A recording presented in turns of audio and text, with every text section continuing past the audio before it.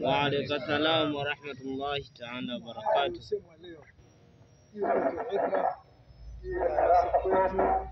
tujifunze na tuyafuate yale ambayo tunaelezwa kwa kuyafanyia kazi, sio kutuyaacha hapa sasa tushaelezwa.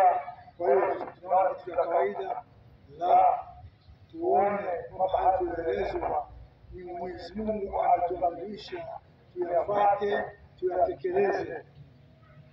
Kwa tunaomba ndugu zangu tuliofika hapa, kwanza nashukuru sana kufika kwenu na kuwa pamoja na sisi. Umoja wetu wa watu wa Ilala na Handeni utazidi kudumu baada ya kuwa kila mwaka tunakuja na wao wanakuja, basi ni heri kubwa sana.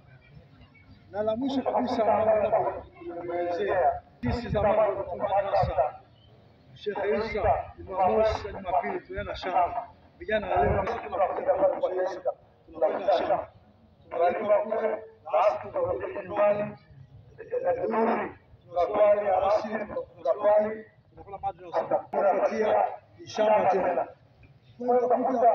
sasa hivi kuna fursa wa kusoma, kuna madarasa ziko nyingi, kuna walimu wengi, lakini hatuwajali, hatuwaenzi.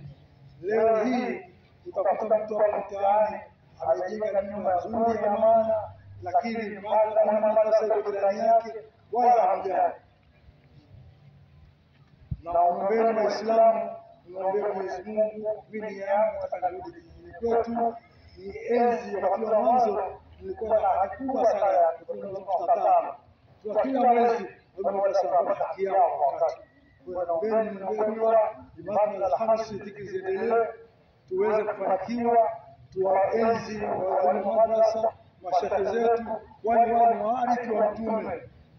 Kwa Waislamu tusiache, kwa sababu wenzetu